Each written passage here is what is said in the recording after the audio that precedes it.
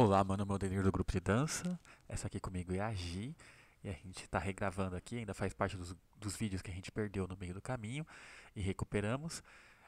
É, a gente vai fazer uma aula de forró baseado no vídeo do Rafael e da Alice. E o que movimento a gente vai fazer agora? A gente vai fazer um movimento bem conhecido, que é uma meia ponte. Só que dessa vez a volta, a gente vai voltar fazendo um giro invertido do cavalheiro, sem perder o tempo. Como que a gente faz isso, então? Primeira coisa, a gente vai fazer uma abertura.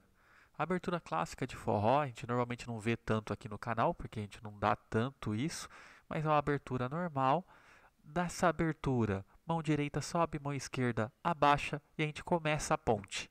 Ela é meia ponte porque a gente não termina a ponte, a gente volta com a dama.